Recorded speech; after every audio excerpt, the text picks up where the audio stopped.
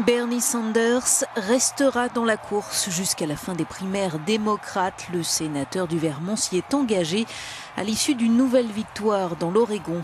Il a beau avoir un retard quasi irrattrapable en nombre de délégués. La dynamique Sanders ne faiblit pas, aux grandes dames de sa rivale Hillary Clinton. Lorsque nous avons commencé cette campagne, il y a un peu plus d'un an, nous étions 60 points derrière Hillary Clinton dans les sondages. Nous n'avions pas d'organisation politique, pas d'argent, très peu de reconnaissance. Les médias et les experts avaient décrété que notre candidature était marginale.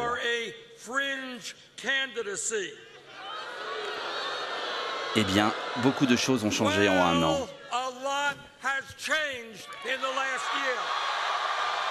La très courte victoire de l'ancienne secrétaire d'État dans le Kentucky confirme la division des démocrates, alors que côté républicain, Donald Trump affûte ses armes et lève des fonds.